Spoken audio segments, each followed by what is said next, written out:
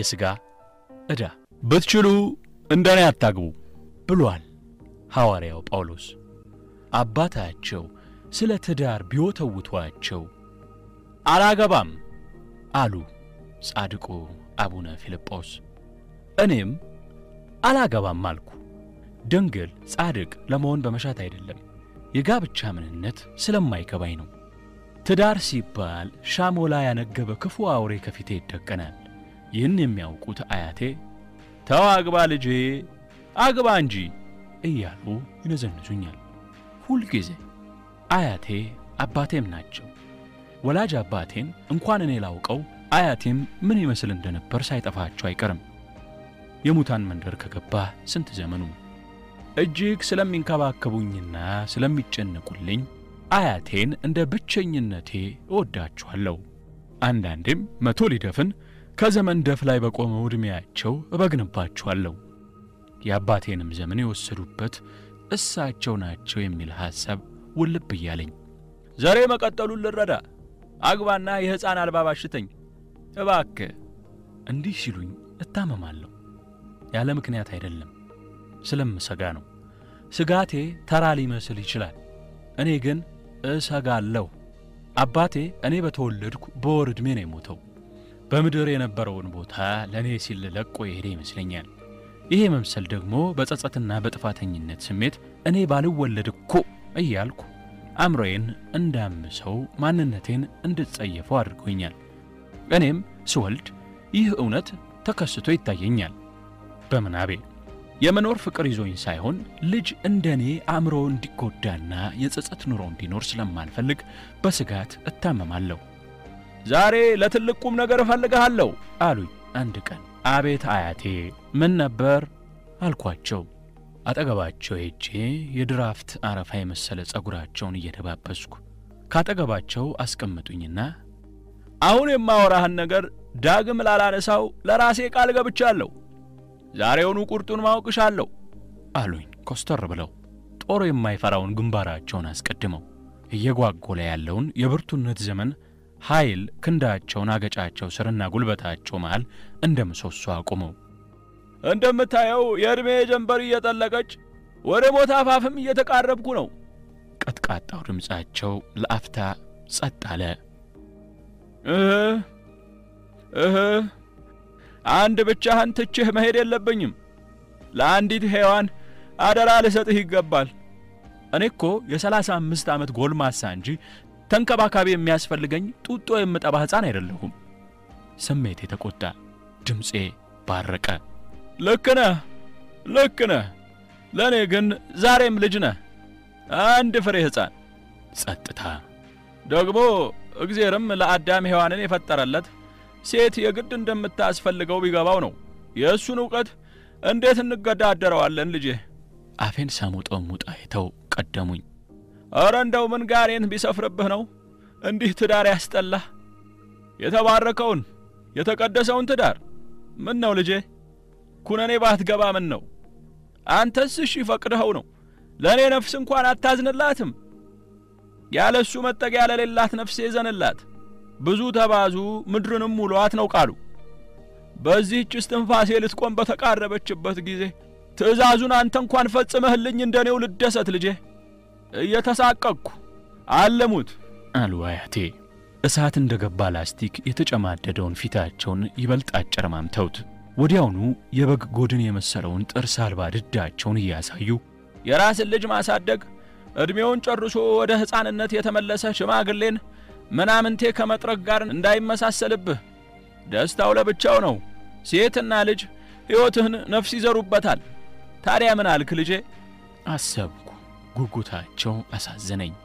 እግዜሩ በመቶዎች ለሚቆጠሩ ረጅም ዘመናት በመኖር ከሚታወቁት ጥንታውያን አያቶችና አባቶች ጋር ሊያፎካክራቸው ካልፈለገ በቀር ከአሁን በኋላ ግፋቢል አንድ ዓመት ቢኖሩ ነው። ጃጅተዋል። ላስከፋቸው አልፈለግኩም። ግሪካዊ ሶቅራጠስም ማግባት መልካም ነው፣ ጥሩ ሚስት ካገባህ ደስተኛ ትሆናለህ፣ መጥፎ ሚስት ካገባህ ፈላስፋ ትሆናለህ ሲል ሹክ አለኝ። እሺ አገባለሁ አልኳቸው። ፈነደቁ አያቴ። ሶቅራጠስ ከደስተኝነት ፈላስፋነት ይልቃል ብሎኛል። ላገባ ስል የፈለግኩት ሶቅራጥስ ይልቃል ያለውን ፈላስፋ መሆንን የምታመጣዋን ሴት ነው። መጥፎ ሚስት። ማስታወቂያ አስነገርኩ፣ አስጻፍኩ፣ ሰዎችንም አጠያየቅኩ። መጥፎ ሚስት ልትሆነኝ የምትቺ እባክሽ ነይ። ለበርካታ ጊዜያት ማስታወቂያው አልተቋረጠም። ግና አንድም ሴት ዝር አላለችም። ፈላስፋነቱ ቢቀር ሁለተኛውን አማራጭ ተጠቀምኩ። ደስተኝነት ፍለጋ ጥሩ ሚስት። አሁን ማስታወቂያውን ማስነገርም አላስፈለገኝም። አያቴን እንደ ቀልድ ያጫወቷቸው ጎረቤቶቻችን ዜናውን አሰራጩት። ከዛ ሳምንት ጀምሮ መውጫ መግቢያዬ ላይ የሚቁለጨለጩ የሴት ዐይኖች ሲረባረቡብኝ ቆዩ። መልካምነቷ የተመሰከረላት ምርጥ ሴት ከሁሉ ተመርጣ ተጣምረን ጋብቻውም የአያቴ ሕልምም እውን ሆነ። የጋብቻው ሰሞን አያቴ ነቢይ ናቸው ብዬ መሰከርኩ። ሶቅራጠስ ሐቀኛ ነው ብዬ አጨበጨብኩ። ትዳር ቅዱስ፣ ጥሩ ሚስት የደስታ ምንጭ እያልኩ ጨፈርኩ። ደስታ በደስታ ሆንኩ። ከወራት በኋላ ግን አመሏ መለወጥ ጀመረ። እራት ባልኩ ቁጥር የለም ነው መልሷ። እሳት ስትሆን ውሃ ልሁን ብዬ ወጥተን እንብላ ስላት ከውጭማ አንተ የለመድከው ብላ እንጂ እኔ የኩሽና ሽታ መቼ አነሰኝ። የሾርኔ ንግግር ትጋብዘኛለች። አልጋ ላይ ትንሽ ላጫውታት ስከጅል አርፈተኛ እያለች ማመናጨቃ መጣች። ኧረ ውዴ ተይ ልላፋ ትቃጣለሁ። ዘላ ትነሳና ወደ ሶፋው ትሮጣለች። ይህ ሲገርመኝ ጭርሱኑ የሚደንቅ አመል አበቀለች። አይጥ ፈራው ስል ጭራቅ ላከብኝ። መሳለሚያን ያላየ ቦሌያዊ ፒያሳን ይንቃል የሚል ተረት የፈለሰፍኩት ያን ጊዜ ነው። ምን ሆነ? አቶ ሚስት ጥንብዝ ብላ እየሰከረች ትጠብቀኝ ጀመር። ታይ ብላት ለእኔ ጆሮ የላትም። መላ አካሏ ምላስ ነው፣ ለእኔ አለብላቢት ምላስ። እንደ ሀገሬ ወግና ባህል በዱላው እንዳልሞክራት ቴኳንዶ ሰልጥናለች አሉኝ። ወይ ጉድ!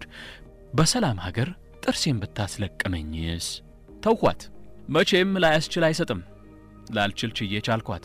የምትጠጣው ጠላና አረቄ ነው።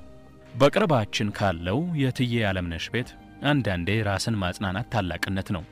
እኔም ስካሯ ሀገር በቀል ከሆነስ መልካም ብዬ ራሴን ሸነገልኩ። ስክር ስትል እኔ ቆንጆዋ ጥሩዋ ሴት ፈቅጄ ስላገባሁህ ተከፍሎ የማያልቅ ዕዳ አለብህ ትለኛለች። ዝም እላለሁ።